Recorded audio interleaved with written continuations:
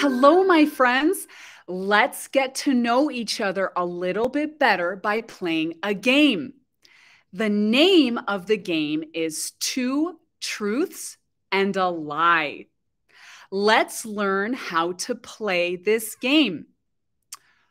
First, write three sentences about yourself.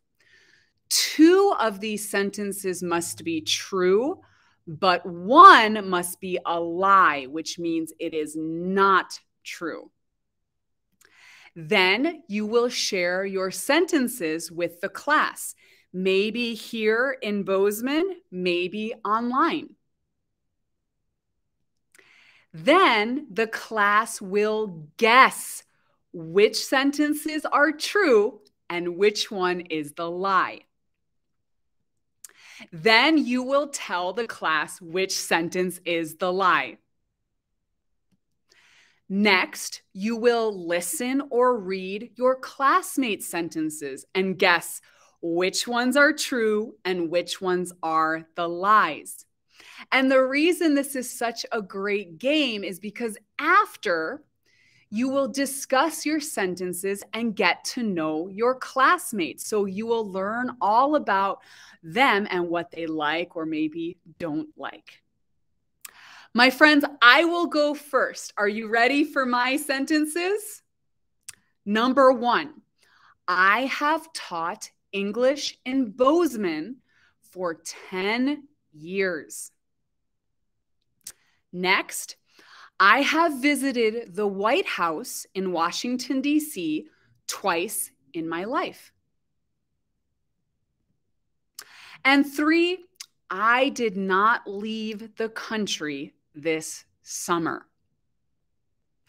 What do you think, my friends? Two of these sentences are true and one is a lie. Which one do you think is the lie? Let's find out. So, the first one I have taught English in Bozeman for 10 years. This is true.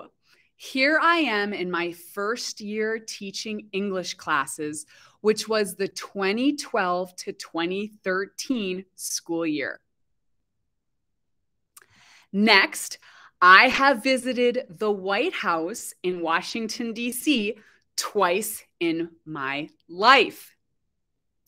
This is also true. Here I am the first time in the late 80s. And here I am approximately 10 years later. Finally, my friends, I did not leave the United States this summer.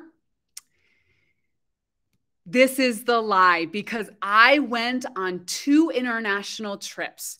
The first one was to the United Kingdom. So here you see us close to the landmark Stonehenge in England. And then I also went to the Netherlands. Here you see me by the sea in the Netherlands. So, my friends, did you get it right? Did you choose the lie? Now it is your turn. You can share three sentences about yourself either here in class or online and let us guess which one is the lie. And then afterwards, my friends, you can think about what did you learn about your classmates? Okay, my friends, remember practice, practice, and never give up.